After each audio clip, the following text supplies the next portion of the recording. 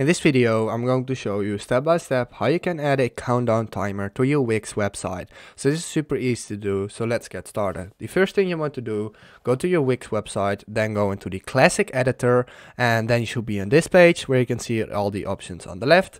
But for this, we actually need a different website called Elfsight. So Elfsight is a great company.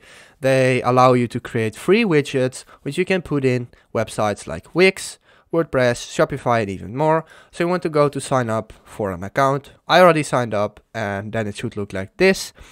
Once you're here, you want to go to add application and then type in countdown. So there we go, countdown type timer.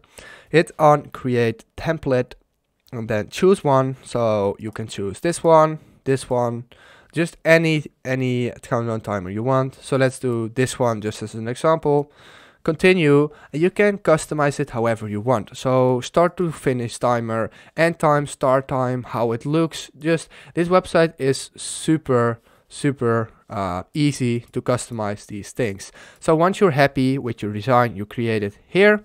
You can go to the top right and hit save. There we go. And then you can select a plan. So if you're just starting out with not a lot of um, uh, viewers select the light version and if you like it and you want to um, upgrade, then go to the basic, which will be $5 a month. So let's select zero. There we go.